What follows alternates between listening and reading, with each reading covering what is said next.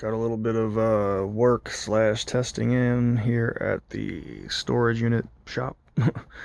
uh, hooked the sewing machine and the Cricut um, up to the Everstart power supply um, back there. It's 500 watts, uh, 1200 amps. Had it not fully charged, probably 80% charged up, so I wanted to see how it would do. And I uh, cut these designs. This is like a marine vinyl, or like a faux leather, if you will.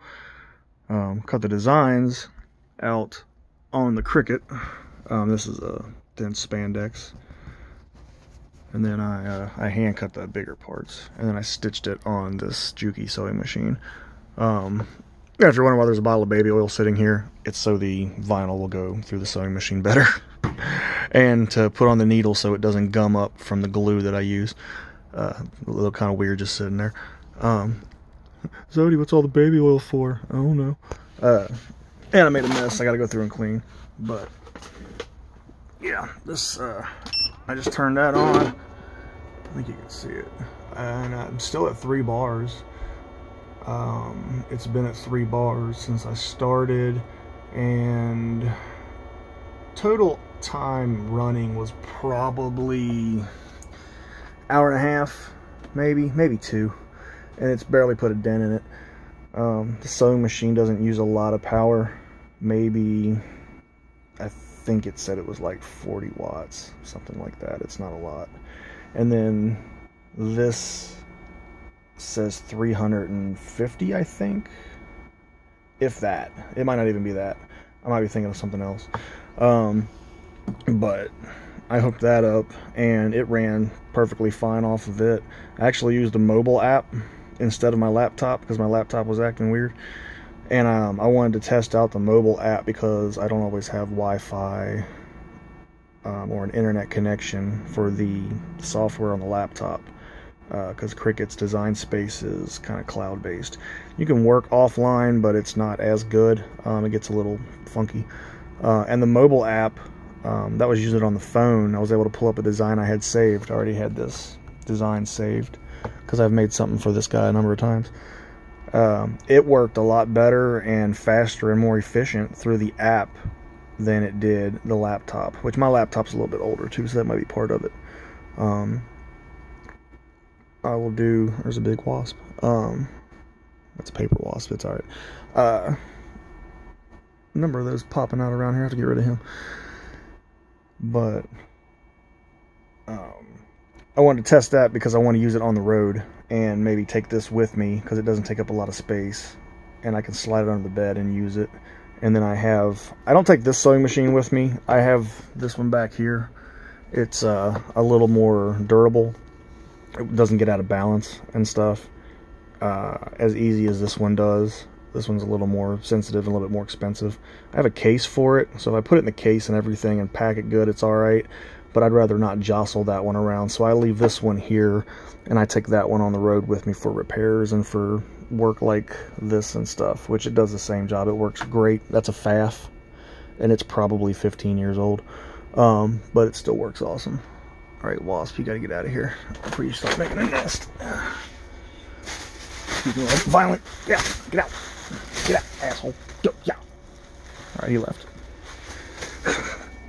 Last thing I want's a wasp nest up in here. Deal with all that. Well, okay, that was the excitement. That was my excitement for the day. Um, but yeah, I made these wrist gauntlets for a guy. Um, they're wrist guards, cuffs, whatever you want to call them three layers. Got a base layer um, in there, then this top decorative layer, and then I put a uh, poly cotton material in the back for comfort, so they're a little soft. And then this little thing here to close up the gap, and I gotta get laces for them. I don't think I, I think I'm out of laces. So he just wanted alternating ones. So these came out pretty nice. The Cricut cuts this vinyl really clean especially if you have a new blade.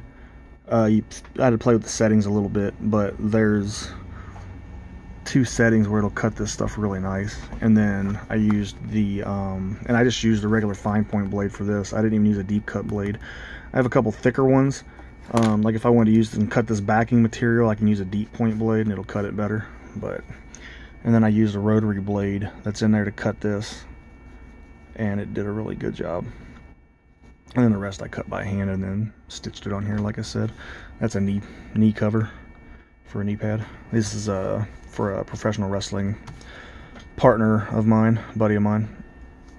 So, and the only thing you can hear from this EverStart is that little hum from the fan. That's the only noise you get from the actual AC power, and I don't even notice it.